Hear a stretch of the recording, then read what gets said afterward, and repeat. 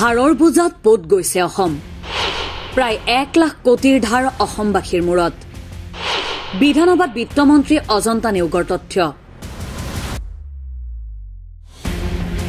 ধাৰ আৰু সুদূৰ প্ৰহেলিকাত অন্ধকাৰ হৈ পৰিছে অসমৰ অৰ্থনীতিৰ ভৱিষ্যত। প্ৰায় এক লাখ কোটিৰ ঋণত ভাৰাক্ৰান্ত অসমৰ ৰাজকোষ। এই তথ্য প্ৰকাশ কৰিছে খোদ অসমৰ বিত্তমন্ত্ৰী অজন্তা নেওগে। আজি বিধানসভাত বিধায়ক অখিল গগৈৰ এক প্ৰশ্নৰ উত্তৰত বিত্তমন্ত্ৰী অজন্তা নেওগে সদনক অৱগত কৰে যে দুহেজাৰ একৈশৰ এক এপ্ৰিললৈ অসম চৰকাৰৰ ঋণ বিৰাশী হেজাৰ সাতশ একচল্লিছ কোটি টকা।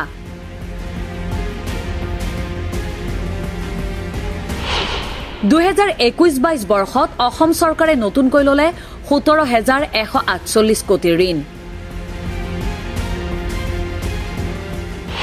অৰ্থাৎ দুহেজাৰ বাইশৰ এপ্ৰিল পৰ্যন্ত অসমৰ মুঠ ঋণ নিৰান্নব্বৈ হাজাৰ কোটি টকা।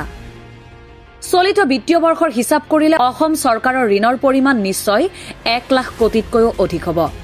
বিত্তমন্ত্ৰী অজন্তা নেওগে লগতে উল্লেখ কৰে যে অসম চৰকাৰে মুকলি বজাৰ নাবাৰ্ড কেন্দ্ৰীয় চৰকাৰ বিশেষ সাহায্য আঁচনি ভৱিষ্যনিধি আদিৰ পৰা এই ঋণ সংগ্ৰহ কৰিছে। এক লাখ কোটিৰ ঋণত ডুব গৈ থকা ৰাজ্যখনৰ উপাৰ্জন কিন্তু মুঠেও সন্তোষজনক নহয়। বিত্তমন্ত্ৰীয়ে সদনত দাখিল কৰা তথ্য অনুসৰি দুহেজাৰ একৈশ বাইশ বৰ্ষত কৰৰ পৰা অসমৰ উপাৰ্জন ঊনৈশ হাজাৰ পাঁচশ তেত্ৰিশ কোটি টকা।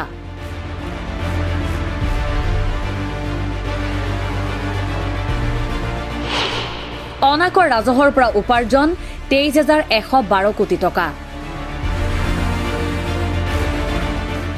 অৰ্থাৎ অসম চৰকাৰে এটা বিত্তীয় বৰ্ষত বিভিন্ন উৎসৰ পৰা উপাৰ্জন কৰিছে প্ৰায় বিয়াল্লিছ কোটি টকা। বিধায়ক অখিল গগৈৰ আন এটা প্ৰশ্ন আছিল অসম চৰকাৰে স্থায়ী উৎপাদন বৃদ্ধিৰ বাবে কি কি পদক্ষেপ হাতত লৈছে? বিত্তমন্ত্ৰী অজন্তা নেওগৰ উত্তৰ অসম চৰকাৰে এন আৰ এলত বিনিয়োগ কৰিছে দুহেজাৰ দুশ ষোল্ল কোটি আঠাশী লাখ টকা। বন বিত্ত শক্তি পৰিবহণ কৃষি পথ সংযোগ দক্ষতা বিকাশ আৰু স্বাস্থ্যত ৰূপায়ণ কৰি আছে বাৰ হাজাৰ কোটি টকাৰ আঁচনি। মীন নগৰ উন্নয়ন জলসম্পদ পথ সংযোগ স্বাস্থ্য আৰু শক্তি খণ্ডত ৰূপায়ণ চলি আছে ঊনচল্লিছ হাজাৰ কোটিৰ আঁচনিৰ। মুখ্যমন্ত্ৰী সমগ্ৰ গ্ৰাম্য উন্নয়ন যোজনাৰ অধীনত ত্ৰিশ হাজাৰ কোটিৰ আঁচনিৰ ৰূপায়ণ চলি আছে। এই আঁচনিয়ে অসমৰ ডুবন্ত ৰাজকোষক কিমান দূৰ উদ্ধাৰ কৰিব পাৰে সেয়াহে হ'ব লক্ষণীয়। News Desk Report The Cross Current.